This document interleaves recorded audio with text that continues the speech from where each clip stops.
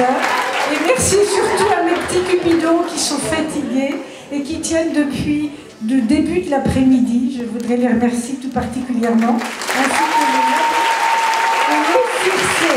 Merci.